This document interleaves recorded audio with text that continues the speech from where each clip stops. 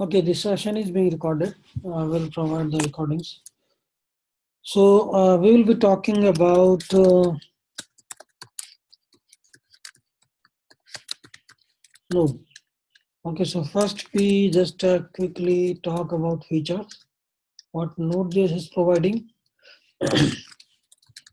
Node.js is single threaded, right? Node.js is scalable. And Node.js provides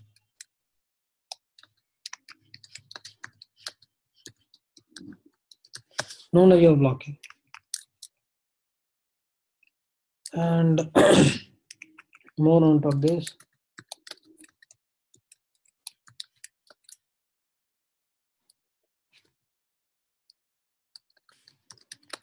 on command line.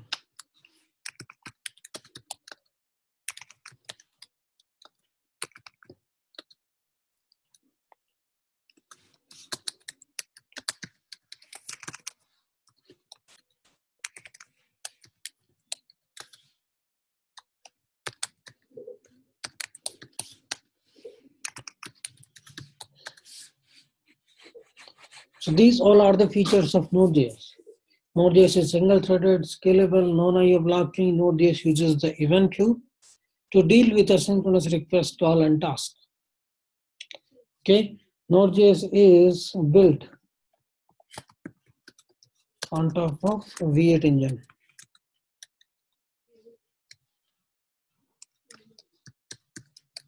So V8 engine is actually JavaScript engine on which this Node.js is built on. Let me show you the architecture of Node.js.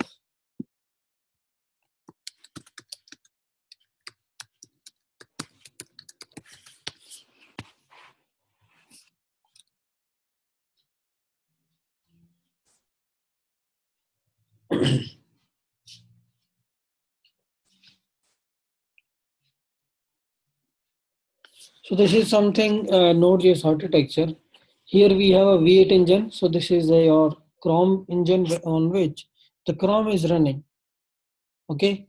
And here we have the C and C++ library, HTTP parser, OpenSSL, CSLib, JLib. On top of that, we have C and C++ add-ons and Node.js bindings so that Node.js can talk to these C and C++ library. Node.js core code is written in C or C++. That's why it is fast. Internally, Node.js is a multi-threaded, but when we talk about the Node.js APIs, which we are using while writing the code, that is single-threaded. Okay, we can see other architecture if we have. So this architecture we have already seen. I will do a quick recap.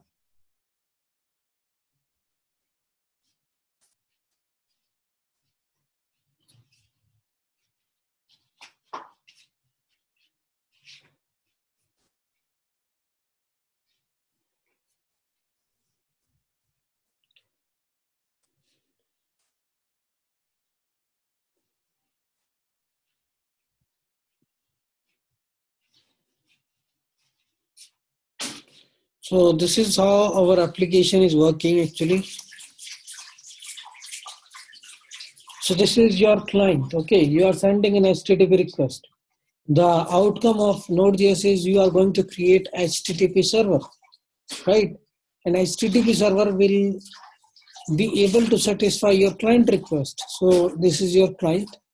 You will be sending an HTTP request, okay? And this is a single threaded environment so i will be able to process one request at a time. Either you send 10000 50000 and it is being done in every milliseconds. Okay single threaded environment. So this is your web server node.js it will talk to your database get the data. This is also a synchronous query and once it has the data it will respond to the client.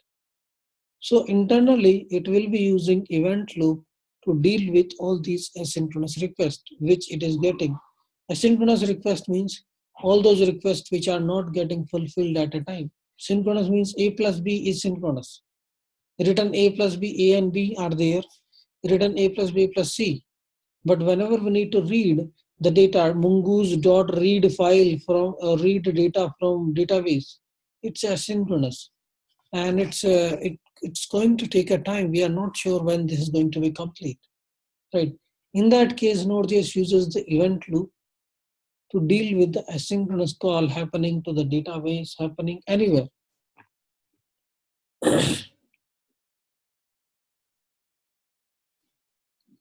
So this explains a lot of things. We are getting so this is a js thread running single threaded environment for all the user we are getting the io request. Okay everybody wanted to use uh, uh, everyone everybody wanted to get the data from the backend. One second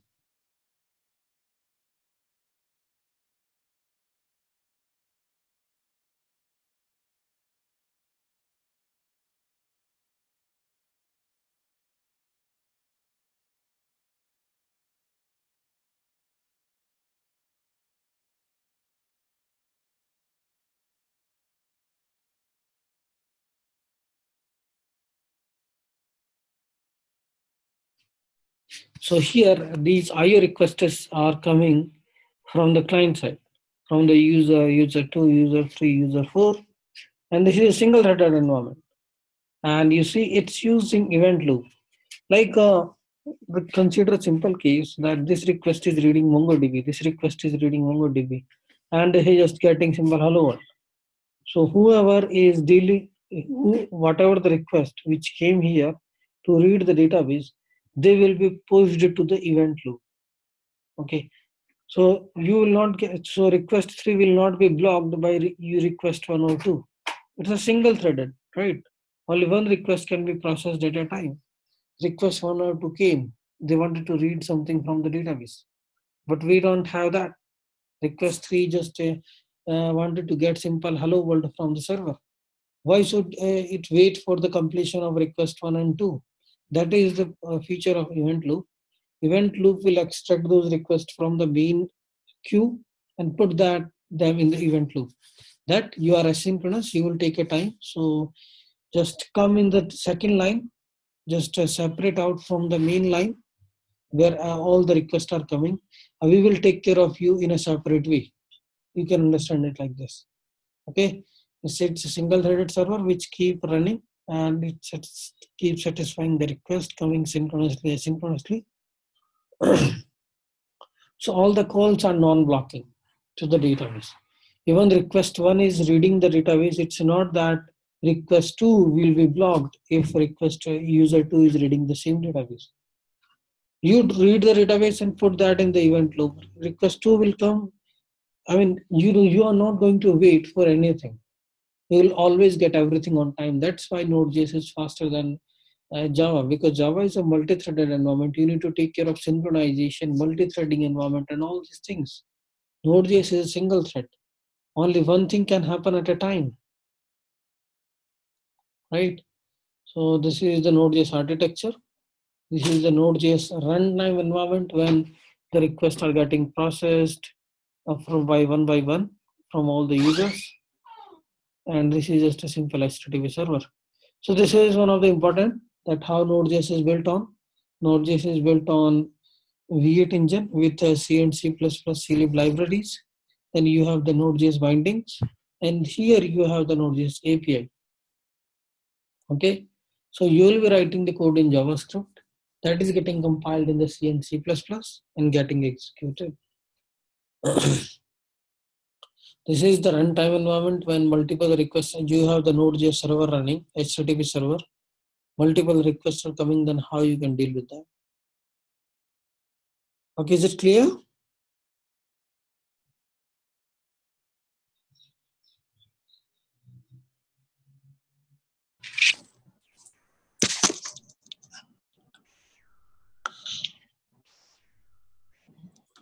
Okay, so let's move to the next one here we are talking about all the features so these features are done we have talked about node.js architecture right node.js single threaded environment So these are the only only points. Now, once these all are done, then we'll talk about Node.js CLI. We will create a Node.js first HTTP server. First HTTP server means we will see how Node.js will be creating single HTTP server to respond to the client. Okay, Node.js CLI. Here we can talk about all the different different features of Node.js. Then Node.js modules. Every programming language has some core modules, some predefined modules, some user-defined modules, all these things. Then Node.js event emitter. Node.js, uh, now we will talk about uh, with Express, some web framework. We start talking about uh, creating the web application in Node.js using web framework. Okay, we will talk about Node.js REST API, how you can create a REST API. Okay, this is your agenda. Okay, I can say okay, so let's talk about the introduction. Here uh, we have created a simple HTTP server. So what all different things we are doing? You are done with the installation. I have given you the two links in the WhatsApp chat that there are the two playlists. Just go through them. First playlist is for npm build. I mean, it's a deep dive with npm. Okay. The second playlist is for Node.js. Introduction and installation and uh, all other things. Okay, just go through that. If you still have some problems, issues, just let me know. So here we are creating our first HTTP server. HTTP equal to the require HTTP. So this is actually a core module of Node.js. So we were talking about modules, right? Some are core modules, some are user-defined modules, some some modules you are getting from npm js.com. So this is the node package manager. So in the node package manager, how you are installing the package? npm install minus minus save react, npm install minus minus save angular.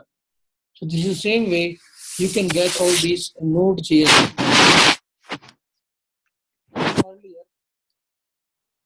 we used to have only Node.js module on npmjs.com and using npm package manager you were able to install only the server side node.js modules. But later they also added some client side module react angular bootstrap jquery everything you can get from npmjs.com or you can call it node package manager npm install npm install bootstrap npm install angular npm install bluebird which is a node.js core module. Npm install uh, express which is a node.js module.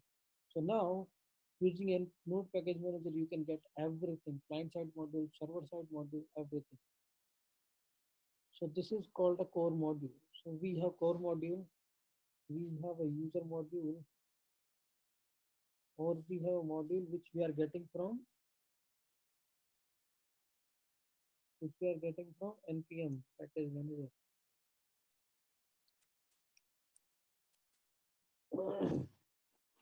Okay. So these are the different places from where we are getting these npm modules.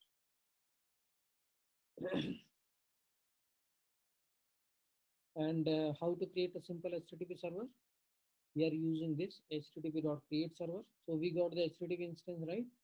Now i can write http.create server. Request response. This is actually a call.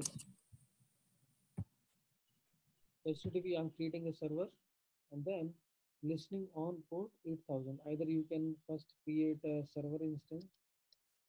I will just create a simple variable.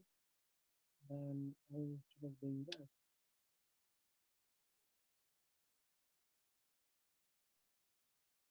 it is same thing okay. So let's uh, we can run this.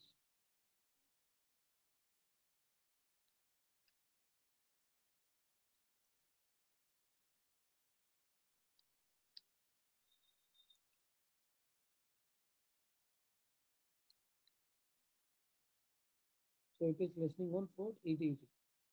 So once you just uh, go to your browser or anywhere, get you will get the introduction. So uh, from the server, you are getting the response introduction.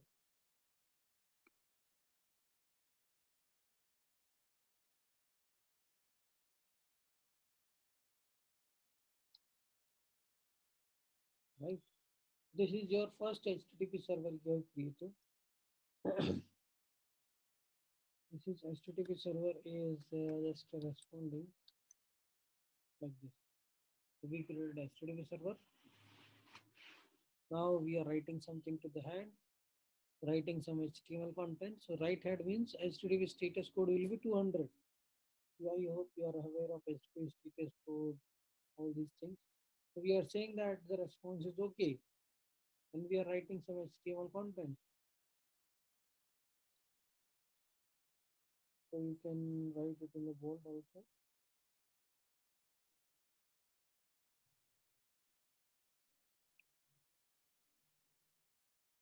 Now we need to restart it because we have changed the code.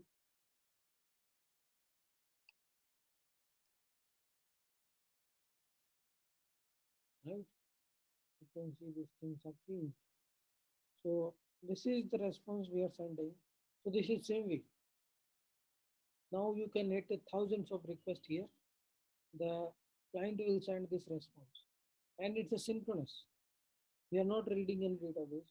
We are not reading any file while dealing with the client. Client request is coming and we are just, every client is being sent with this message. So the server is listening on port 8080. This is a kind of socket communication. I'm there, server is there who's, who's listening on port 8080. You can go and connect with any, number of clients.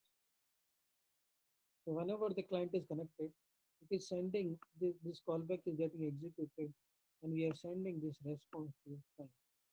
Response return, right? So every request will we will get two object request and response. So I can also see what we are getting inside a request object.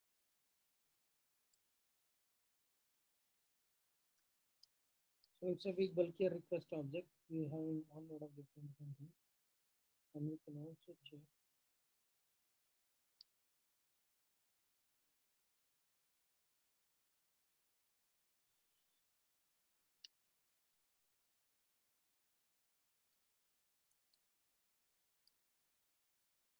right?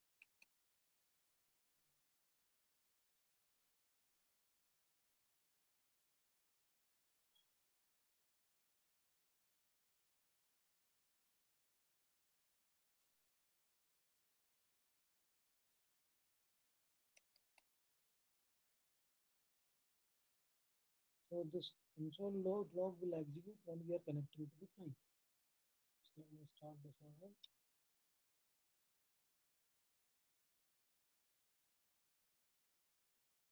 Now in console.log you can see the request and response object. So here, there, a lot of different different things.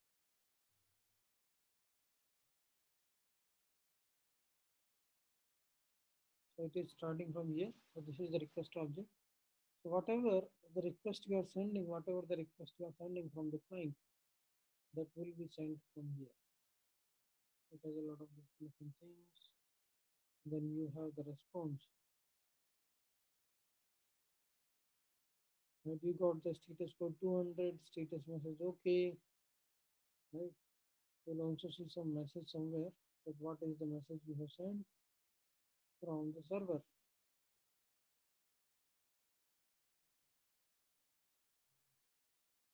That should be somewhere else. so is this clear? How we are creating a simple HTTP server. So this HTTP server is a lot of things, doing a lot of things. In future also, we will be creating this code, we will be writing this code to create HTTP server. Then we will be adding some more REST APIs, some more routes that once you, so right now what is happening?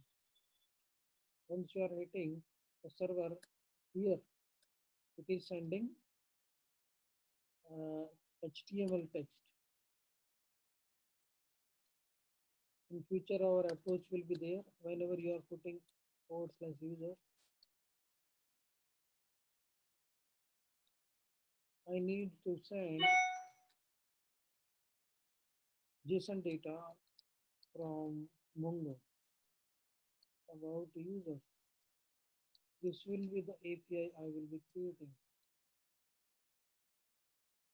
Users, you will be passing just a simple ID. So I need to get individual user from Mongo, right? You can do all these different things. And these requests will be HTTP GET. Also need to specify the type. HTTP GET. Uh, if you are creating a new user, obviously that will be post. I hope you're familiar with all these things. Users.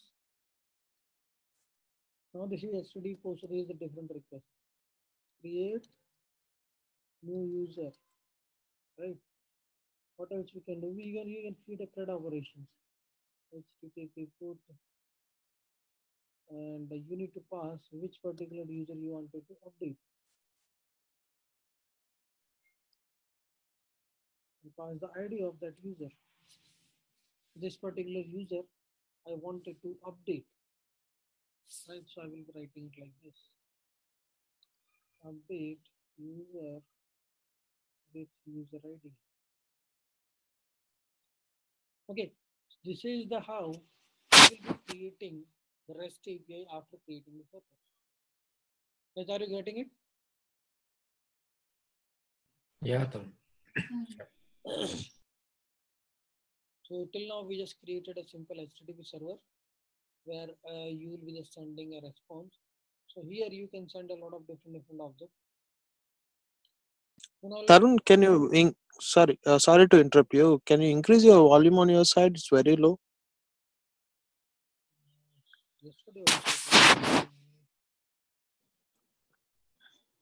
Sorry.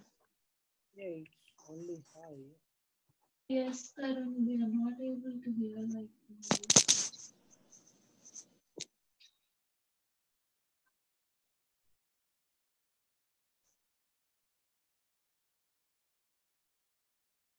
Just check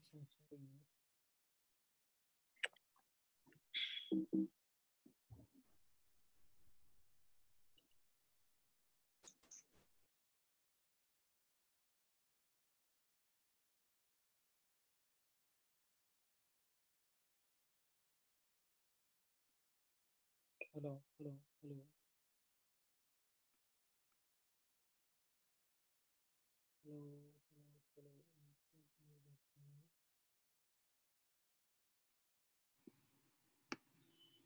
Hello, hello, hello. Is it fine now? Hello, hello. Yeah. Yeah. yeah. It's better right now. Okay. So this is how we just created an HTTP server. The next example is we will talk about the event uh, emitting in Node.js. That is also one of the additional feature which is there in this, and we will talking about this core module. Before that, if you wanted, uh, we talk about the file system also, right?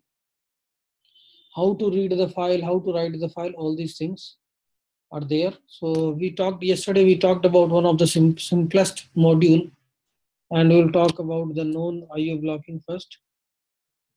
So here just a simple, we are doing console.log.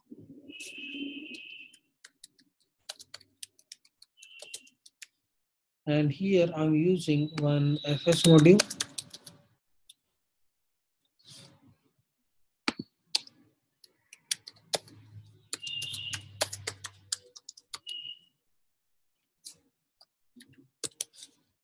So this FS module is there, like HTTP module is core module, FS module to read a file.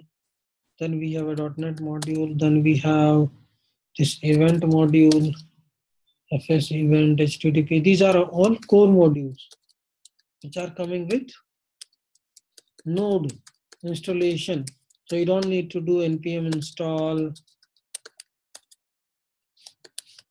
minus minus save fs or something because these are built in coming with your Node.js installation. Now if I do fs.read file, so read this carefully. This is my file readme.txt. Okay.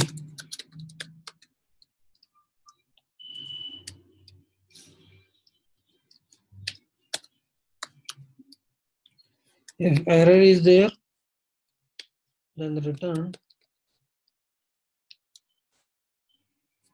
Otherwise, uh, what we can do, console.log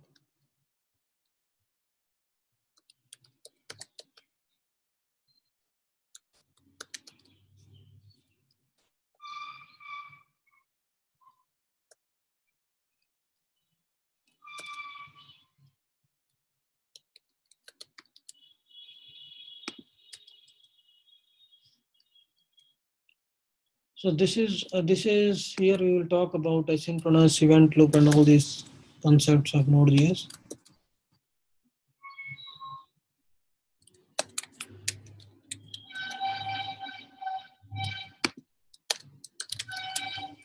Okay, so this is my first. Uh, you can consider this is a task one. You can consider this as a task zero two. And you can consider this as a task 03. Now, in what different execution manner, I mean, what is the execution order of all these things? Here you will understand what is the non-IO blocking and how Node.js deal with that. So I have these three tasks. So task 01 will be there, first of all. Then I will be going to the task 02 and I will be going to the task 03. Now task 01 is synced synchronous, so it will get processed. Okay, done. Task 02 is reading a file. So that means this is asynchronous. So this will be pulled out from the main queue, main request processing queue, and will be pushed into the event loop. Okay, task 03 so it is not going to wait for task 02 or this particular line to get processed. We already did that. We know that task 02 is so we don't have that time. So what we can do, get it from here, this get this from here, and pull this out and put this inside the event loop. Then we have a task 03. It is synchronous, simply returning the data so we can put it as a done. Okay? Now task anonymous will be here. So this event loop now event loop has already processed it. So this particular callback will be notified. Understand this? So event loop is actually a queue. It's actually a queue in node.js which manages all the asynchronous calls.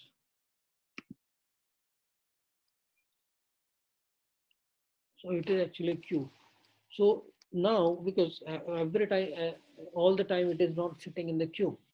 Now it has done the re file read operation. File read operation is done. So it will come back.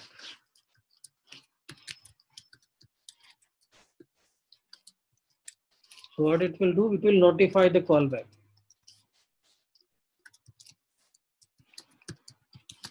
Notify this callback. So here,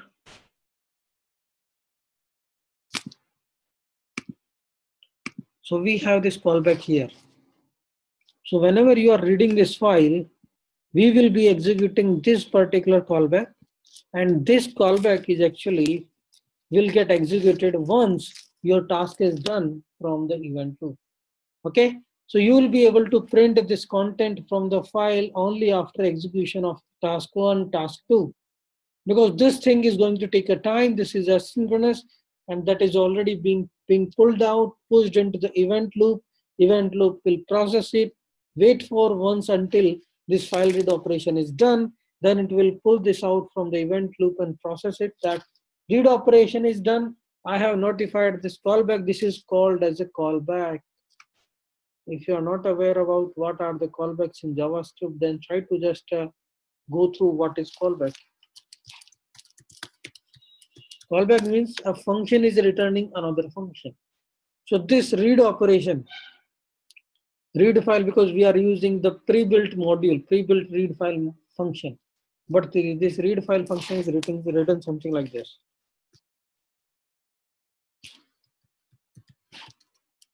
It is taking two arguments, right? File name and one callback. I mean the function. Put it as a fn, make it as fn. So it is taking two arguments here. One is the file name, right? Read file we are calling from the fs module. It is taking file name and a function. So it will read that file. So do whatever you wanted to read that file process it or whatever you wanted to do. After that, just return it like this.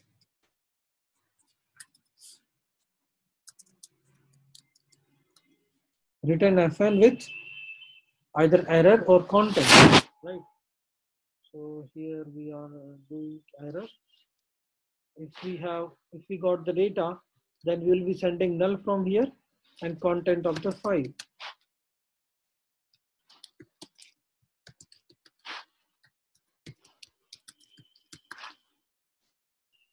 So I did the read file, something, something, something is done.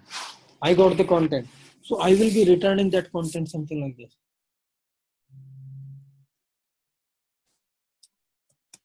Getting my point? So this is called a callback. So now this read file is a synchronous call. Once this is done, this callback will be returned. This callback has two things, null and content. So if you got the null in the error object, then do nothing. Otherwise, obviously you got some data. If this has been failed, then we will be just returning an error object, some object here, which will show that you got a failure while reading the file. It's not succeeded. So I'm just, I just explained what is a callback. So callback is actually just a methodology of dealing with asynchronous calls where you will be passing you will be invoking one function from another functions you will be returning a function. You will be taking function as an argument and returning that function from that function. So just go and study about this what is a callback and from here.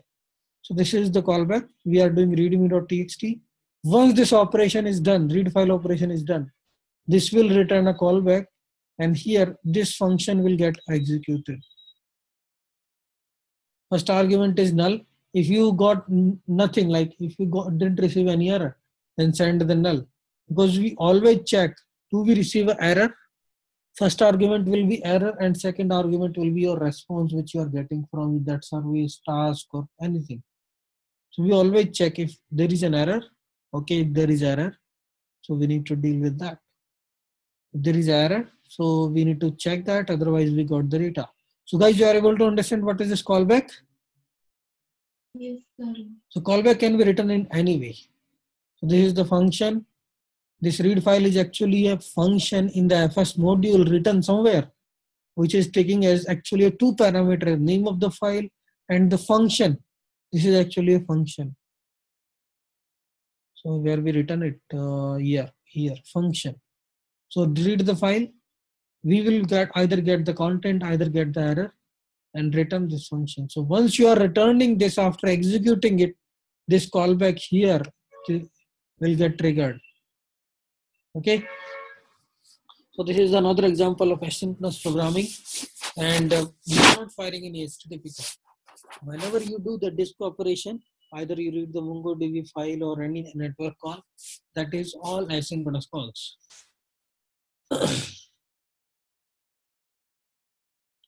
So we'll talk about this. So Node.js provide eventive programming also. So I will cover the I will cover it partially. Then we will talk about this later. So eventive means you are done with tasks, some tasks. So you can event that you can emit that event. Emit and broadcast is actually universal concept. It's not something new in the Node.js. So this is the event emitter events module is there, which is a core module coming with the Node.js installation. and you are getting the event emitter instance. So event emitter, right? We, I'm creating the custom event emitter logger. Okay. So I can emit an event and I can broadcast an event. So like I'm emitting. So sometimes we need to notify that this task has been done. You need to do whatever you wanted to do. I, I have done reading this file, do this task of your task which you wanted to do after my task is done. If there are two dependent entities. So I can trigger the event also like I will emit some event after doing the task X. So task Y can, can start its execution like this. So event emitter is actually an, a module. So events is a module and event emitter we are getting it from the events module. So you can create a custom object like logger and here I've started emitting some event. So logger.emit error, error is actually a emit event name and this is the data I'm sending with this event. Logger.emit event name error and I'm sending this data with this. Okay. So these all different things are there. You will be emitting the event and this is the emission of event. And here we are handling that event logger.on, logger.emit, logger.on. Okay. Emit means you will emit some event. Here I will handle that. So this is coming from event emitter. Okay. So these all are core modules. When you do the require HTTP, when you do the socket express, for here, this for this particular scenario, these all are not inbuilt modules. You are getting it from npmjs.com. URL is core module, crypto is core module, but request and express you need to get it from npmjs.com. Here we are creating a simple HTTP server, which we have done yesterday, I think. We are doing, we are in requiring Express. So this Express is coming from npmjs.com. We are creating the instance of that. And then we are creating this simple route means whenever the request will be coming for forward slash, this function will be executed. Okay. So just uh, talk, uh, just uh, do a quick round of all the Node.js installation and just go through their playlist. Here we covered only the basic, what is event loop, what is non-IO blocking, and how to just deal with the core modules. So this is meeting is going to be end. So uh, Renu, if you wanted to have it on WebEx, then start the session from 7 a.m. Okay. Okay, sure. sure. Okay. Thanks everyone. Thank you.